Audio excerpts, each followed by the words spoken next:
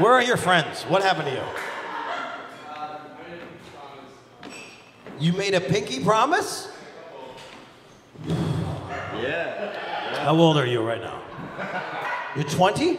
All right, fair enough. You can say pinky promise. I was about to get real.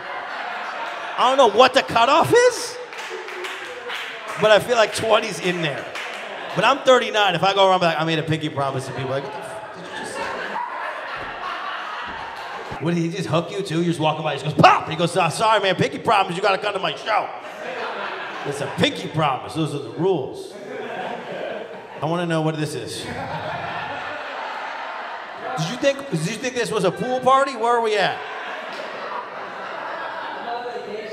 I don't think that's how it works. Fuck it, I'm on vacation, bro.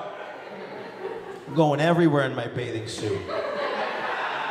I respect the bathing suit because the shit is the background for Scarface, so I respect that shit. You went to the store, you, you got the background for Scarface? Yeah, we got like 13 bathing suits. Tank tops, socks, whatever you need. Pinky promise? Yeah.